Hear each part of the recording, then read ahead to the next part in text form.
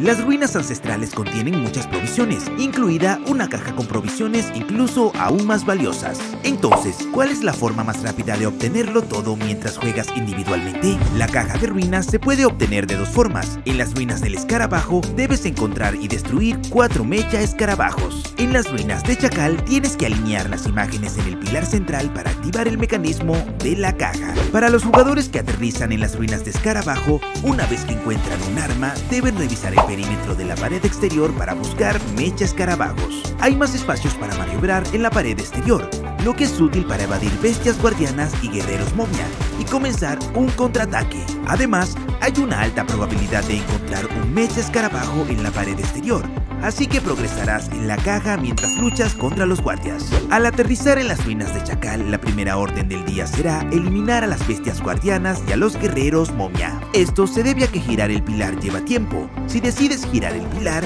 estarás vulnerable a cualquier ataque.